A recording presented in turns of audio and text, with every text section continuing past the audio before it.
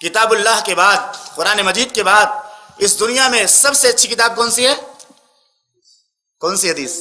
ماشاء اللہ صحیح جواب ہے نا؟ قرآن مجید کے بعد سب سے اچھی کتاب، اصح الکتب بعد کتاب اللہ۔ عربی میں جو عبارت ہے، اصح الکتب بعد کتاب اللہ۔ اللہ کی کتاب کے بعد سب سے صحیح کتاب۔ صحیح بخاری ہے۔ اور امام بخاری نے اس میں کتاب رکھا ہے، کتاب کا نام رکھا ہے، کتاب العلم۔ کیا نام رکھا ہے؟ کتاب العلم اور اس میں ایک باب باندھا ہے باب العلم قبل القول والعمل۔ باب ہے علم کے بارے میں، بولنے سے اور عمل کرنے سے پہلے۔ بولنے اور عمل کرنے سے پہلے کیا کرنا چاہیے؟ علم حاصل کرنا چاہیے۔ آج دیکھیے، لوگ عمل کرنے سے پہلے اور بولنے سے پہلے علم حاصل نہیں کرتے۔ پہلے بولنا شروع کر دیتے ہیں۔ ہے کہ نہیں یار؟ حقیقت ہے، سوشل میڈیا میں دیکھیے، یوٹیوب میں دیکھیے۔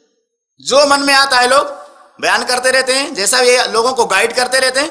تو امام بخاری نے باب باندھا، باب العلم، باب ہے علم کا قبل القول والعمل۔ بولنے سے اور عمل کرنے سے پہلے۔ اسی لیے تو پہلی وہی نازل ہوئی نا، دیکھیے کتنی مطابقت ہے۔ اس باب کے اندر اور پہلی وہی کے اندر۔ اللہ نے کہا اقرا بسم ربک الذی خلق۔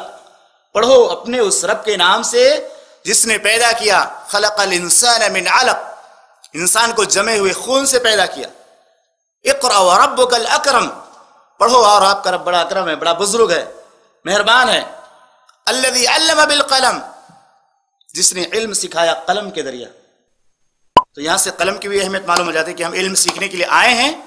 تو ہم میں سے ہر شخص کے پاس قلم اور نوٹ بک ہونا ضروری ہے۔ کیونکہ اس کو لکھیں گے تو محفوظ رہ جائے گا۔ اور صرف سنیں گے تو بھول جائے گا۔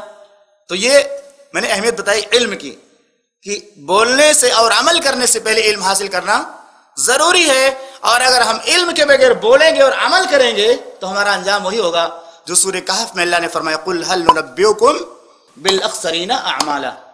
عمل کے اعتبار سے خسارے میں چلے جائیں گے۔ کیونکہ معلوم ہی نہیں ہوگا سنت کیا ہے، توحید کیا ہے، نبی صلی اللہ علیہ وسلم کا طریقہ کیا ہے۔